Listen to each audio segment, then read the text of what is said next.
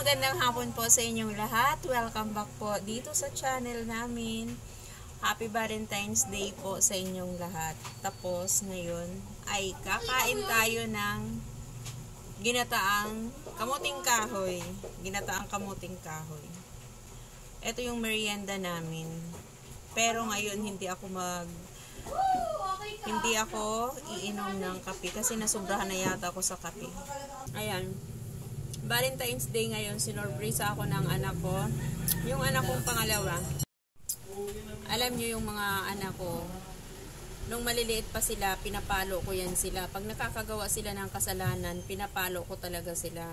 Tapos, pinapaliwanag ko naman sa kanila kung bakit ko sila pinalo.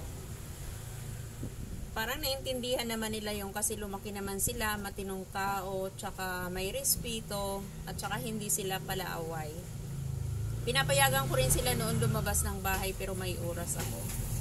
Pagka umaga, pwede sila lumabas alas 8 ng umaga hanggang alas 10 ng tanghali. Tapos pagkakain ng tanghali, matutulog sila. Pagka alas 3, magigising sila, pamimeriendahin ko yan. Pagka alas 4, pwede na sila ulit lumabas hanggang sa magtakip silin. Takip silim, ganun. Basta bago mag dilim, kailangan nasa loob na sila ng bahay. Ganon yung patakaran ko sa kanila. Hanggang sa lumaki sila, parang nadala na nila yun. Alam nyo, pinapalabas ko sila noon tapos may condition ako sa kanila na sabi ko, pag lumabas kayo, ayoko nang may pupunta dito na bata o kaya nanay na magsusumbong sa akin na nakikipag-away kayo. Ayaw na ayaw ko na kayo ang nangunguna makipag-away. Pero sabi ko sa kanila, pag inunahan kayo, ina awayin at sinaktan kayo, lumaban kayo. Yan lagi talagang sinasabi ko sa kanila. Da, dati, nung maliliit pa sila, elementary lang, elementary pa lang sila noon, talagang nagbibigay na sila sa akin ng mga bulaklak, yung bulaklak na nabibili sa labas ng school, di ba? Binibigyan na ako nila noon yung anak kong panganay at saka yung anak kong pangalawa. Yung anak kong panganay talagang nagbibigay yun, tsaka galante yun. Kaso ngayon nasa Tacloban siya, ah, syempre may asawa na siya, kaya ando na siya nakatira. Pag andito naman yun, gagawin din niya yun na bibili rin siya sa akin ng cake o kaya chocolate, ganun. Pero binati na ako ng anak ko kaninang umaga pa. Natatawa talaga ako nung pag naalala ko yung binigay niyang bulaklak na glass na may pabango kasi kinaumagahan noon, napagalitan ko siya. Halimbawa, Valentine's Day ngayon, tapos pagka 15, napagalitan ko siya. Tapos nung pinagalitan ko siya, umiyak siya na gaganon-ganon siya ng ano niya, oh, ng luha niya. Tapos, gano'n na yung uso niya. Kasi pag pinapagalitan mo yan, na pangalawa kong anak, gano'n yung uso niyan.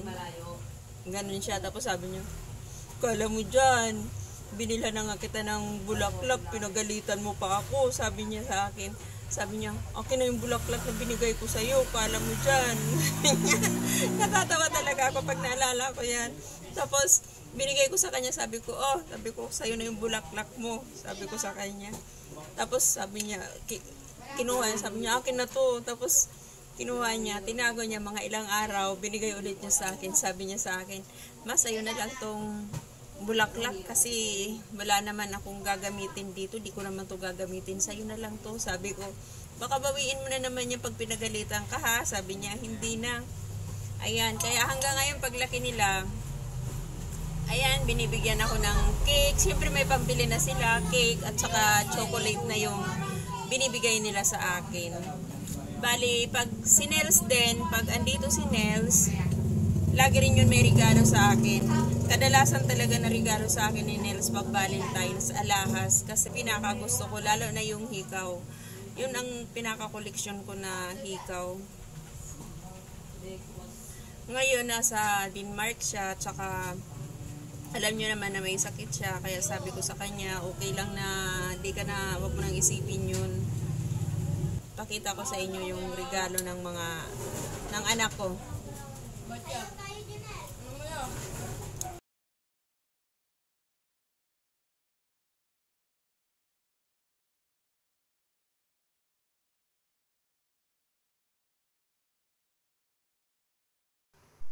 Ayan si Rhea, titikman daw niya yung cake kung matamis. Kararating lang ni Rhea galing sa school. Kasi, ano ka neto, exam nila ngayon, prelim exam nila ngayon.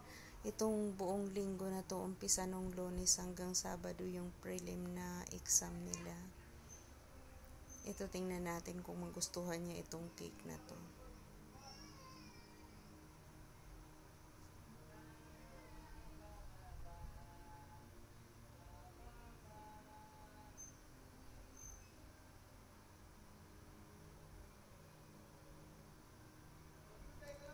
Ayan, hindi daw matamis. Masarap daw. Ilan yan, G-Lord? PC ano yon? PC to. So yung stop time ko. Stop time mo. Bali, 43 minutes. Tsaka, magkano to? 11. Yung stop time muna ha.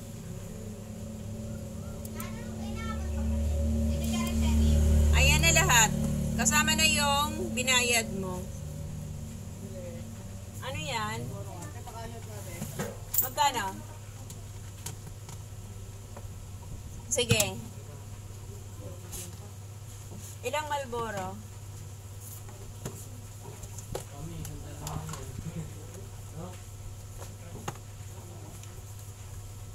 Pula ito, no?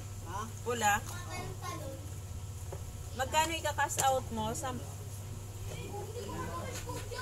500? Five hundred. Ito dyan, oh. 10 piso yung 500. Magkano yung sasad mo? 510? Para... Dito ko na ibawas?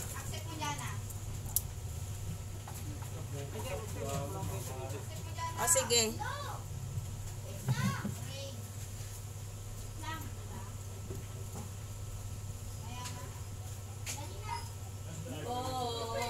Patay.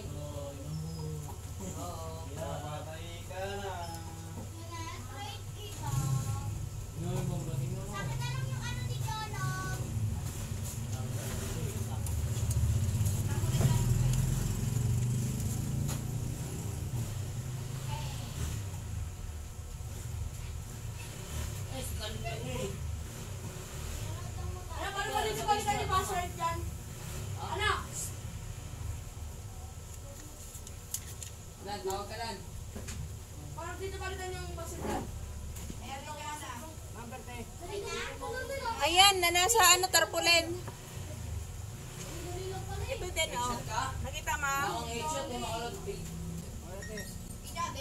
Oh, ito na, oh. 500. Sampo ang bayad. Salamat. Yan lang po ang ano ang kwento ko sa Valentine's. Bali, bali Happy Valentine's Day ulit sa inyong lahat. At saka maraming maraming salamat sa lahat ng mga nanonood, sa lahat po ng mga nag-subscribe sa channel ko. Maraming salamat po. Pasensya na po kayo kung medyo delay ang balik ko sa inyo kasi sobrang busy lang. Pero pag nagbalik naman ako, talagang buo yung panood ko ng video ninyo kasama yung harang dyan. Ayan, maraming salamat po sa inyong lahat. Kain tayo ng kamuting kahoy.